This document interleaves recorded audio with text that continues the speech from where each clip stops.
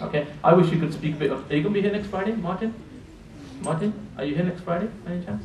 Um, I am Will here allow you another next Monday, weekend? Tuesday, and Wednesday. I'm in Vancouver on Friday. Okay. Any Friday you ever in, in town, please, I'll give you my card.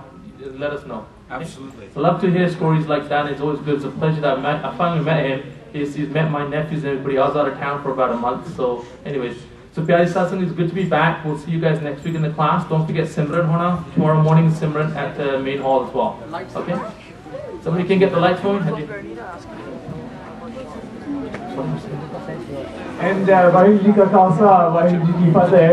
Just for those of you that don't know, Martin Singh is running for the federal leadership of the NDP. That's why this is extremely important.